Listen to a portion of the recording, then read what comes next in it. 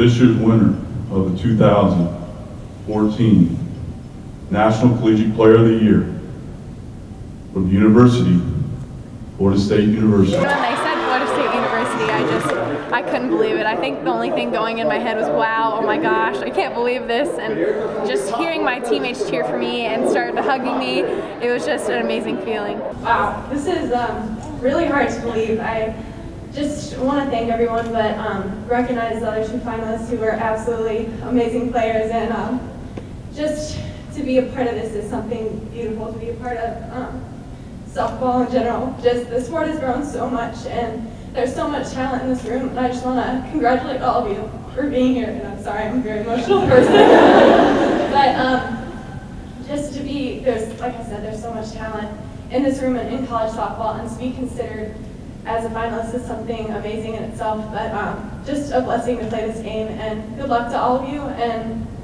thank you all, and I hope that we'll all just play our very hardest throughout this whole week. Congratulations. I wasn't nervous coming in, but then once they started announcing all of our stats and everything, my heart was just pounding and pounding, and it was just so exciting to have my team there with me to be there for that moment, just because they were they were the first ones cheering when they announced my name, and it was just I felt so great being with my team and knowing that they supported me, and they were the one, really it's a team award. If I didn't have great defense and great offense behind me, I wouldn't have this. So it was just an amazing feeling having my team cheer for me and hearing my name called.